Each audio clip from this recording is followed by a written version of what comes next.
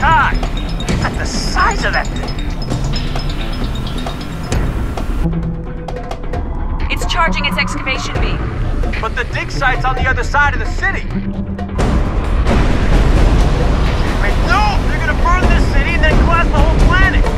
Permanent bastard! This is like rage all over